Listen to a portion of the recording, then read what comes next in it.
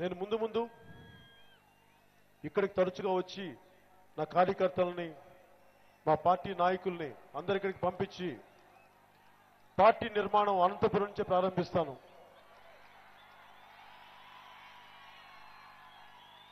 నేను మీ- మన ఇంతమంది యువతున్నారు. ఇక్కడ పరిశ్రమలు ఎలా రావాలి? ఎలాంటి విద్యాలయాలు కావాలి?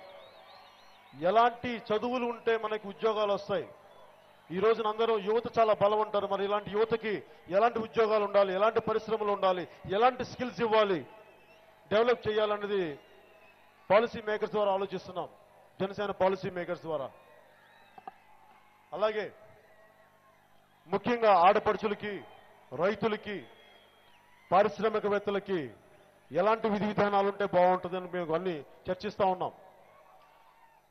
పారిశ్రామికవేత్తల్లో కేవలం కొన్ని కులాలు మాత్రమే కాకుండా దళిత కులాల నుంచి వెనుకబడిన అనేక అనేక వెనుకబడిన కులాల నుంచి చాలా ఔత్సాహికులైన పారిశ్రామికవేత్తలను గుర్తించి వారందరికీ ఎలాంటి ప్రోత్సాహం ఇవ్వాలి?